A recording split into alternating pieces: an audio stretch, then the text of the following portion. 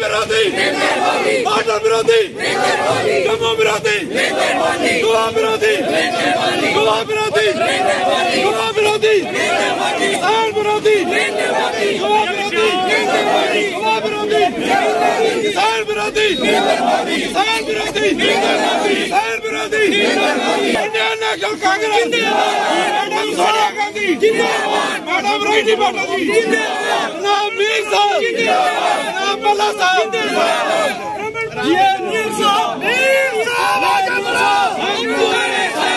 मीर साहब आगे बढ़ो। मीर साहब आगे बढ़ो। मैडम सोनिया गांधी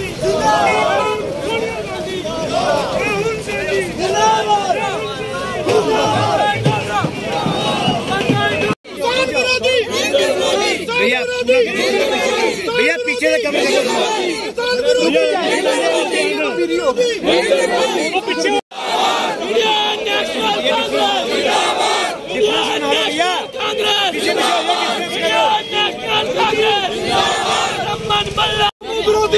मोदी जम्मू विरोधी मोदी जम्मू विरोधी कांग्रेस।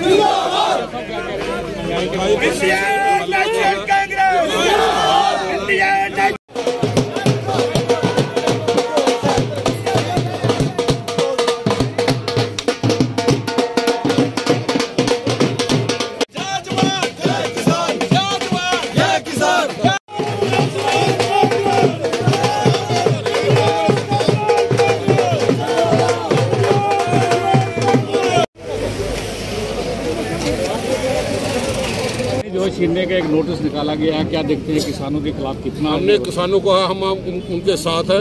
जिस ढंग से हिमाचल बाई इलेक्शन में लोगों ने फैसला किया भाजपा को भगाया तो कीमतें भी सस्ती हो गई इस ढंग से ज़रूरी है कि हम सब इकट्ठे होकर भाजपा को भगाए।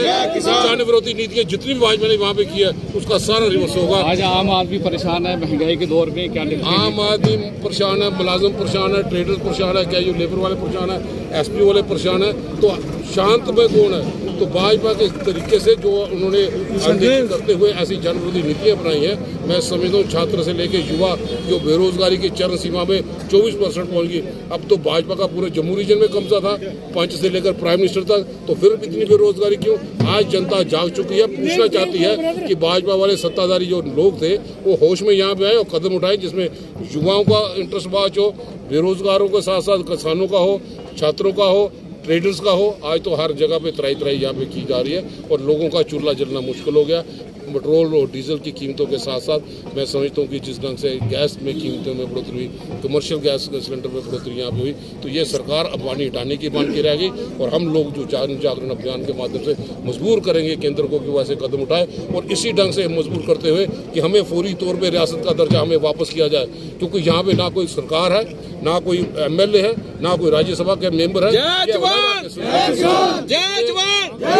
पे रियासत का दर्जा वापस हो और असेंबली के चुनाव करो जो आपने कानून यहाँ पे लाए हैं जिसने जनता को परेशान करके दे दिया टेबल डिस्कशन हो उसके बाद उसका फैसला। डिप्टेशन की डेट रोज बदल रही है क्या देखते हैं ये इनकी मानसिकता खत्म हो चुकी है मैं समझता हूँ इतनी देर की ये अभी तक फैसला कर में एक बहाना था क्योंकि इनको शेरा दिखाई दे दिया कि गर्मी की मार से सरकारी भाजपा नहीं चलेगी।